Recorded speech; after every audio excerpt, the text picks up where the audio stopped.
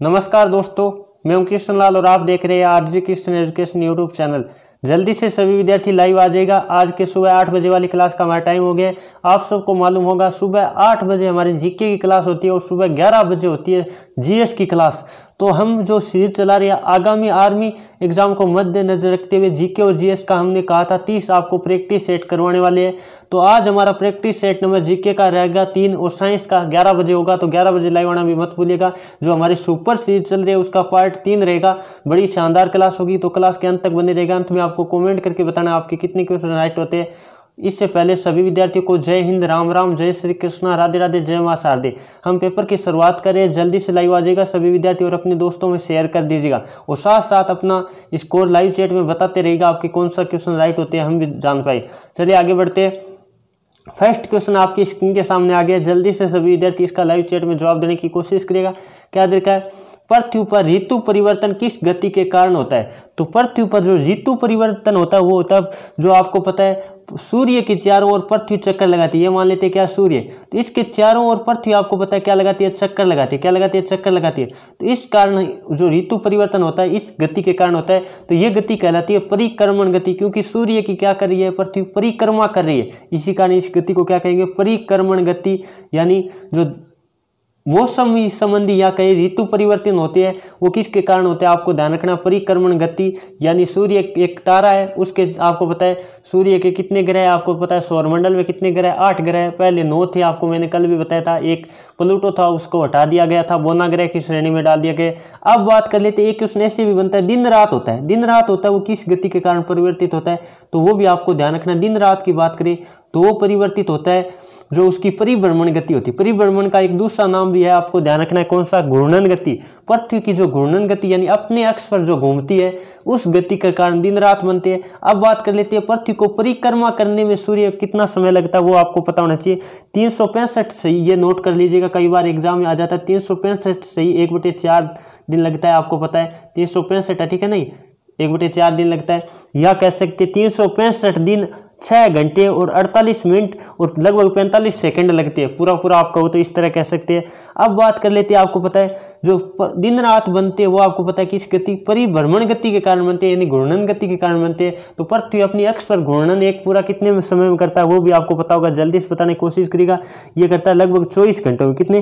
चौबीस घंटों में आप पूरा पूरा लगभग मान सकते हैं, ये ठीक है, ध्यान रखना अब बात कर लेते हैं, ये क्वेश्चन यहाँ से ये भी बनता है, जो चंद्रमा होता है, वो पृथ्वी के चारों ओर चक्कर लगाता है। चंद्रमा एक क्या है? उपग्रह। किसका उपग्रह? पृथ्वी का उपग्रह, पृथ्वी के एक ही उपग्रह है चंद्रमा। जो आप बात करें पृथ्वी के चारों ओर घूमता है तो पृथ्वी के चारों ओर घूमने में उसको कितना समय लगता है? यानी पृथ्वी की परिक्रमा करने में चंद्रमा लेता है सत्ताईस दिन, लगभग आठ घंटे। कितना लेता है? सत्ताईस दिन और आठ घंटे लेता है। तो ये भी आपको याद रखना है। चलिए दोस्तों, अगला क्वेश्चन नंबर बात कर लेते हैं। दो आपकी स्क्रीन के सामने जल्दी से सभी विद्यार्थी इसका भी लाइव चैट में जवाब देने की कोशिश करेगा। हेली नामक धूमकेतु का परिक्रमण काल कितना होता है? तो आप सबको पता होगा हेली नामक धूमकेतु उसका परिक्रमण काल है छंतर वर्ष। मैंने काफ़ी बार बता भी चुका हूँ। जो आपको पता है, हेली नामक धूमकेतु उन्नीस कब दिखा था? छियासी में दिखा था। और वो कितने वर्षों के बाद दिखता है? छिहत्तर वर्षों के बाद पृथ्वी के मतलब पास आता है, ये आपको पता होगा। तो कुल मिला के आगे कब दिखेगा? ये दो हज़ार बासठ में दिखेगा। यानी भविष्य में हेली धूमकेतु जो है क्या है? पुंछल तारा है। क्या है? वो कब दिखाई देगा? दो हज़ार बासठ में दिखाई देगा। तो ये आपको याद रखना है। चलिए दोस्तों, आगे बढ़े। अगला क्वेश्चन नंबर बात कर लेते हैं। तीन आपके के सामने क्या देखा है? भाखड़ा नांगल परियोजना किस नदी पर है तो ये बहुत ही इंपॉर्टेंट क्वेश्चन है। जल्दी से देने की कोशिश करेगा भागला, भाखड़ा नांगल परियोजना वो किस नदी पर है? तो ये बात कर लेते हैं, आपको पता होगा भाखड़ा है, ठीक है? भाखड़ा नांगल परियोजना। तो ये आपको जल्दी से बताने की कोशिश करेगा जो ऑप्शन नंबर डी बता रहे हैं, कौन सा? सतलज नदी। बिल्कुल उनका जवाब सही है। अब बात कर लेते हैं सतलज नदी पर। जो बाँध बंद है, वो भी आपको पता है भाखड़ा नागल बाँध है। ये आपको याद रखना है। अब बात कर लेते हैं काफ़ी सारे बांधों के मैं नाम बताना चाहूँगा आपको। टियरी बाँध है, वो किसकी है? भागीरथी नदी पर है। हीराकुंड बाँध यह आपको ध्यान रखना खास इंपॉर्टेंट है। हीराकुंड बाँध की बात करें तो वो है महानदी पर। हीराकुंड वाला नोट कर लो, काफ़ी बार एग्ज़ाम में आ चुका है। हीराकुंड बाँध किस नदी पर है? तो वो है महानदी। महानदी कहाँ है? आपको पता है, महानदी है ओडिशा में। कहाँ? ओडिशा में। तो ये क्वेश्चन इंपॉर्टेंट आप याद रखिएगा। अब बात कर लेते हैं, एक आपको पता होगा, सरदार सरोवर बाँध।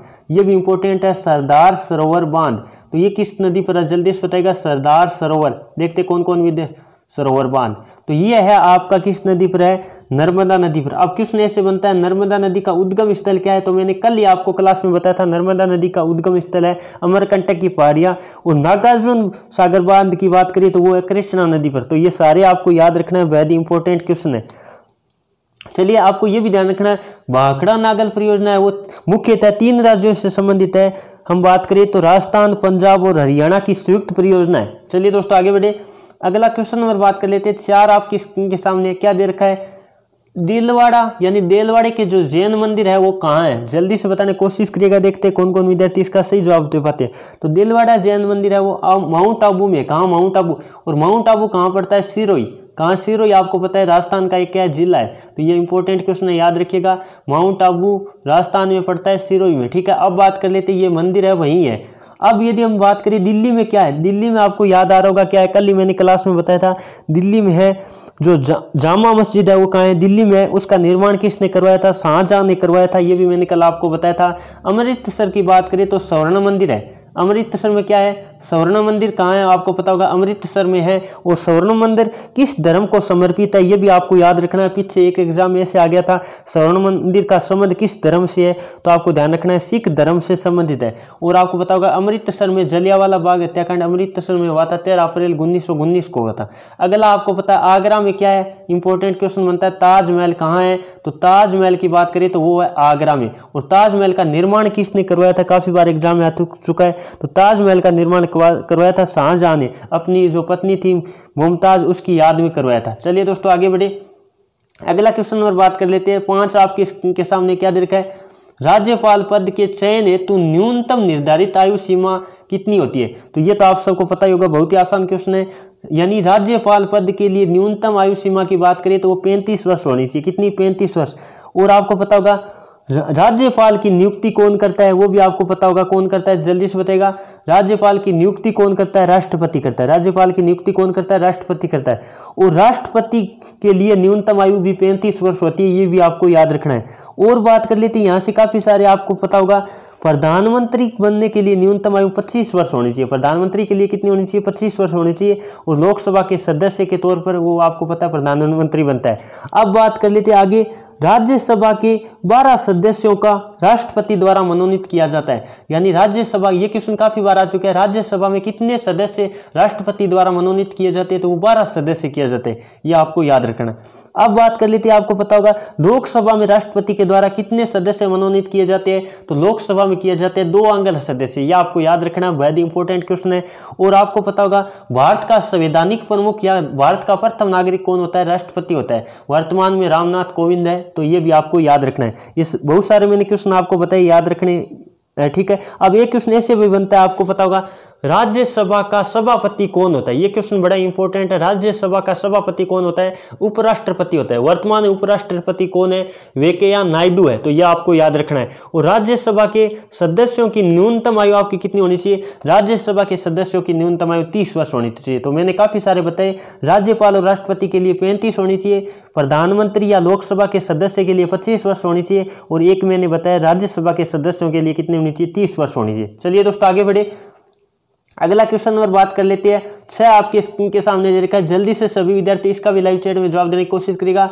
भारत में सर्वाधिक लंबी तटरेखा सीमा वाला राज्य कौन सा है? तो ये आपको सबको पता होगा, गुजरात है। जो ऑप्शन नंबर क्या बता रहे डी बता रहे बिल्कुल उनका उत्तर सही है। अब गुजरात में आपको पता है, गिरनार की पहाड़ी है, गिर नेशनल पार्क है। ये सारे कहाँ है? गुजरात में। और आपको पता होगा, डांडी मार्च जो आपको पता है, महात्मा गांधी जी ने शुरू किया था, वो साबरमती आश्रम से किया था, वो भी आपको पता है गुजरात में पड़ता है। तो काफ़ी सारे गुजरात में आपको पता है, अहमदाबाद है जिसको भारत का मैनचेस्टर कहा जाता है। अब बात कर लेते हैं, यहाँ से आपको पता होगा, याद आ रहा होगा। गोवा की बात करें तो ये है, भारत का क्षेत्रफल की दृष्टि से सबसे छोटा राज्य और बड़ा, सबसे बड़ा की बात करें क्षेत्रफल में तो वो है राजस्थान। और जनसंख्या में बड़े की बात करें तो वो कौन है? उत्तर प्रदेश, यूपी है, जिसकी राजधानी क्या आपको पता होगा, उत्तर प्रदेश की राजधानी लखनऊ है, जिसे नवाबों का शहर कहा जाता है। और हम बात कर लेते हैं, राजस्थान क्षेत्रफल में बड़ा है, उसकी राजधानी जयपुर है, जिसे गुलाबी नगर कहा जाता है। तो ये सारे क्वेश्चन इंपॉर्टेंट आप याद रखिएगा। और भी यहाँ से क्वेश्चन बन रहे हैं, चलिए और बताऊँ क्या? आपको पता होगा मीनाक्षी मंदिर, मदुरई, यानी कहाँ है? तमिलनाडु में चलिए दोस्तों, आगे बढ़े। अगला क्वेश्चन नंबर बात कर लेते हैं। सात आपके स्क्रीन के सामने देखा है। सूती वस्त्र की राजधानी भारत की मतलब भारत की सूती वस्त्र की राजधानी कौन सा शहर है? तो ये तो आप सबको पता होगा, सूती वस्त्र की राजधानी कहा जाता है, मुंबई को किसको कहा जाता है? मुंबई को कहा जाता है। अब बात कर लेते हैं कोलकाता। कोलकाता को आपको पता है, महलों का शहर किसे कहा जाता है? कोलकाता को कहा जाता है। कोलकाता है वो हुगली नदी के किनारे बसा है, आपको पता होगा। और बात कर लेते हैं, कोलकाता उन्नीस सौ ग्यारह में आपको पता है, पहले भारत की राजधानी 1911 से पहले क्या हुआ करता था? कोलकाता हुआ करता था। और 1911 में कोलकाता से नई दिल्ली राजधानी स्थानांतरित हुआ था। ये क्वेश्चन भी काफ़ी बार आ चुका है।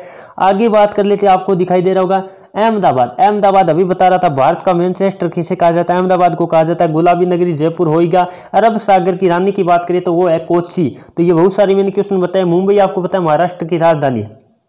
चलिए दोस्तों, आगे बढ़े। अगला क्वेश्चन में बात कर लेते हैं। आठ आपके स्क्रीन के सामने दे रखा क्या है? किस वर्ष भारत छोड़ो आंदोलन की शुरुआत हुई तो। ये तो वेरी इंपॉर्टेंट क्वेश्चन है। भारत छोड़ो आंदोलन की शुरुआत हुई थी उन्नीस सौ बयालीस में। कब हुई थी? उन्नीस सौ बयालीस में बात करें तो कब? 8 अगस्त। कब हुई थी? ये भी आपको याद रखना। 8 अगस्त। आठ अगस्त मैंने लिखा, ठीक है? जो भारत छोड़ो आंदोलन की शुरुआत कब हुई थी? आठ अगस्त उन्नीस सौ बयालीस में हुई थी। किसके द्वारा? महात्मा गांधी के द्वारा। और 1930 में आपको पता है, महात्मा गांधी ने जो डांडी मार्च किया था, डांडी मार्च यानी नमक कानून के खिलाफ जो डांडी यात्रा शुरू की थी, महात्मा गांधी ने अपनी आश्रम था, जो कहाँ था आश्रम आपको पता है? साबरमती आश्रम था जो कि अहमदाबाद में वहीं से शुरू की थी डांडी यात्रा, जो 1930 में की थी, ये भी आपको याद रखना 12 मार्च 1930 को की थी। और बात कर लेते हैं असहयोग आंदोलन की शुरुआत कब हुई थी, ये भी इंपॉर्टेंट क्वेश्चन बनता है, काफ़ी बार आ चुका है असहयोग आंदोलन। तो असहयोग आंदोलन की बात करें तो वो हुआ था उन्नीस सौ बीस में। कब हुआ था? असहयोग आंदोलन की शुरुआत गांधी जी द्वारा कब की गई थी? वो की गई थी उन्नीस सौ बीस में, और बाईस तक चला था, ठीक है? अगला उन्नीस सौ सोलह में आपको याद आ रहा होगा, होमरिल होम रूल लीग, ये इसकी स्थापना किसने की थी? होम रूल लीग, जल्दी से बताएगा होम रूल लीग की स्थापना किसने की थी? ये की थी बाल गंगाधर तिलक और एनी बेसेंट दोनों ने मिलकर की थी। तो ये भी इंपॉर्टेंट क्वेश्चन बनता है उन्नीस सौ सोलह में, किसके द्वारा की गई थी होम रूल लीग की स्थापना? जो बाल गंगाधर तिलक जिन्होंने स्वराज्य मेरा जन्म सिद्ध अधिकार है, उसे मैं लेकर आऊँगा, ये नारा दिया था, ये भी आपको याद रखना है। चलिए दोस्तों, आगे बढ़े। अगला क्वेश्चन नंबर बात कर लेते हैं। नो आपकी स्क्रीन के सामने। जल्दी से सभी विद्यार्थी इसका भी लाइव चैट में जवाब देने की कोशिश करेगा क्वेश्चन आपको क्या दे रखा है? इतिहास का जनक किसे कहा जाता है? तो इतिहास का जनक की बात करें तो आप सबको पता होगा हेरोडोट्स को कहा जाता है, जो ऑप्शन नंबर बी बोल रहे हैं, बिल्कुल उनका उत्तर सही है। अब बात कर लेते हैं, कल ही मैंने बताया था इरेटोस्तनीज है, वो व्यवस्थित भूगोल का जनक किसे कहा जाता है? इरेटोस्तनीज को कहा जाता है और आनुवांशिकी का जनक किसे कहा जाता है? मेंडल को कहा जाता है। और भी यहाँ क्वेश्चन बनते हैं, आपको पता होगा, भूगोल का जनक कहा जाता है इकेटियस को। तो ये सारे क्वेश्चन आपको याद रखने चलिए दोस्तों, आगे बढ़े। अगला क्वेश्चन नंबर बात कर लेते हैं। दस आपके स्क्रीन के सामने दे रखा क्या है? कंगारू किस देश का राष्ट्रीय पशु है। तो कंगारू की बात करें तो वो ऑस्ट्रेलिया का क्या है? राष्ट्रीय पशु है। भारत का राष्ट्रीय पशु आप सबको पता होगा, बाघ है, ये भी याद रखना है। और कन्नाडा की बात करें तो ये आपको पता होगा, गंजा ईगल है। और आपको यहाँ भी नेपाल का राष्ट्रीय पशु आपको पता होगा, गाय है। तो ये सारे क्वेश्चन आपके इंपॉर्टेंट बनते हैं। जापान की राजधानी टोक्यो है, ये भी आपको याद रखना है। वेरी इंपॉर्टेंट इंपॉर्टेंट मैं फैक्ट बता रहा हूँ। यदि आपको क्लास अच्छी लग रही है तो दिल से लाइक कर दीजिएगा। हमारा सपोर्ट ऐसे ही बढ़ाते रहेगा आप। चलिए, अगला क्वेश्चन नंबर ग्यारह आपके स्क्रीन के सामने दे रखा क्या है? राजा राम मोहन राय का संबंध किससे तो राजा राम मोहन राय ने किसका स्थापना की थी? जल्दी से बताने की कोशिश करेगा उन्होंने की थी ब्रह्म समाज की स्थापना। जो ऑप्शन नंबर क्या बता रहे सी बता रहे बिल्कुल उनका उत्तर सी है। और बात कर लेते हैं, आर्य समाज की स्थापना किसने की थी? स्वामी दयानंद सरस्वती ने की थी, जिन्होंने एक नारा भी दिया था, वेदों की ओर लोटो नारा किसने दिया था? स्वामी दयानंद सरस्वती ने दिया था। उन्हीं ने आर्य समाज की स्थापना की थी ये आपको पता होगा। और रामकृष्ण परमहंस मिशन की स्थापना की थी, स्वामी विवेकानंद ने जिनके गुरु विवेकानंद जी के गुरु थे रामकृष्ण परमहंस। तो ये भी आपको याद रखना है। इन दोनों का आपका जवाब कमेंट करके बताना है कि इन दोनों की स्थापना किसने की थी? यानी प्रार्थना समाज और वेदांत समाज, इसको आप क्लास पूरी होने के बाद आज का आपका होमवर्क रहेगा। कॉमेंट करके बताना है। चलिए दोस्तों, अगला क्वेश्चन नंबर बारह आपके स्क्रीन के सामने क्या दे रखा है? चौवालीसवें संविधान संशोधन द्वारा किस मूल अधिकार को समाप्त कर दिया गया? पहले बात तो कर लेते हैं, चौवालीसवा संविधान संशोधन कब हुआ था? क्वेश्चन ऐसे भी आ सकता है तो वो हुआ था उन्नीस सौ अठहत्तर में। कब हुआ था? उन्नीस सौ अठहत्तर में हुआ था। अब बात कर लेते हैं तो वो संविधान संशोधन में किस मूल अधिकार को हटा दिया गया था? तो संपत्ति का अधिकार था, उसको हटाकर क्या बना दिया गया? कानूनी अधिकार बना दिया गया। अब बात कर लेते हैं, जो मूल अधिकार है, वो किस देश के संविधान से लिए गए? वो संयुक्त राष्ट्र अमेरिका से लिए गए। तो आपको ये भी याद रखना है, भारत के संविधान में मूल अधिकार कहाँ से लिए गए? अमेरिका से लिए गए और नीति निर्देशक तत्व आयरलैंड से लिए गए। चलिए दोस्तों, अगला क्वेश्चन नंबर तेरह आपके स्क्रीन के सामने। जल्दी से सभी विद्यार्थी इसका भी लाइव चैट में जवाब देने की कोशिश करेगा क्या दे रखा है? लोकतंत्र, जनता का, जनता के लिए जनता द्वारा शासन है, यानी लोकतंत्र की ये परिभाषा किसने दी थी? तो आप सबको पता होगा अब्राहम लिंकन ने दी थी। किसने दी थी? अब्राहम लिंकन आपको पता होगा, अमेरिका का क्या था? राष्ट्रपति था। उन्होंने ये परिभाषा दी थी लोकतंत्र की, यानी लोकतंत्र के बारे में इन्होंने बताया था ये परिभाषा। चलिए दोस्तों, आगे बढ़े। अगला क्वेश्चन नंबर बात कर लेते हैं। चौदह आपके स्क्रीन के सामने जल्दी से सभी विद्यार्थी इसका भी लाइव चैट में जवाब देने की कोशिश करेगा। प्रो छत्तीस धवन अंतरिक्ष के अंदर। जो निम्नलिखित में से किस राज्य में? तो ये आप सबको पता होगा कहाँ है? सरी हरिकोटा यानी हम बात कर लेते हैं आंध्र प्रदेश में, जो ऑप्शन नंबर बी बोल रहे हैं, बिल्कुल उनका जवाब सही है। अब बात कर लेते हैं केरल की साक्षरता दर भारत में सर्वाधिक है और सबसे कम साक्षरता दर बिहार की है, ये भी आपको याद रखना है। तो ये बेहद इंपॉर्टेंट क्वेश्चन बन रहे हैं, आप सभी नोट कर लीजिएगा।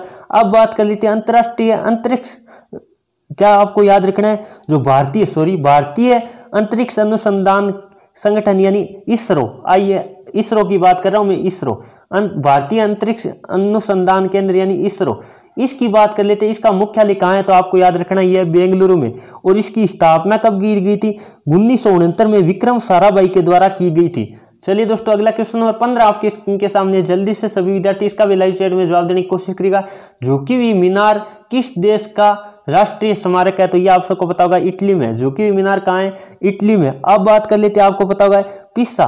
पिस्सा की जो झुकी हुई मीनार है, वो कहाँ है? इटली में। और बात कर लेते हैं, आपको पता होगा फ्रांस की राजधानी क्या है? पेरिस है। और पेरिस में आपको पता होगा एफिल टावर है। फ्रांस पेरिस में क्या है? एफिल टावर है। और मिस्र को आपको पता है, पिरामिडों का शहर किसे कहा जाता है? मिस्र को कहा जाता है। और भारत के स्मारक की बात करें तो आपको पता होगा लाल किला हो गया जो ताजमहल हो गया, जामा मस्जिद हो गया, काफ़ी सारे हो गए, ये सारे आपको याद रखने ये थी दोस्तों आज की जीके की क्लास, कैसी लगी कमेंट करके ज़रूर बताएगा उम्मीद करता हूँ क्लास आपको अच्छी लगी तो क्लास को लाइक करके जाइए, और ग्यारह बजे जो जीएस की क्लास होगी, वो भी लेना मत भूलेगा चलिए दोस्तों, क्लास के बारे में थोड़ा फीडबैक आप कॉमेंट करके ज़रूर दीजिएगा, ताकि हमें भी पता चल पाए हमारी क्लास से बच्चों को कितना फ़ायदा हो रहा है। चलिए दोस्तों, आज की क्लास में इतना ही। जाते जाते भारत माता का जयकारा लगा लीजिए। और शेयर कर दीजिएगा क्लास को ज़्यादा से ज़्यादा विद्यार्थियों तक ताकि सब तक ये क्लास पहुँच पाए। चलिए दोस्तों, आज की क्लास में इतना ही। थैंक यू फॉर वॉचिंग जय हिंद, जय भारत।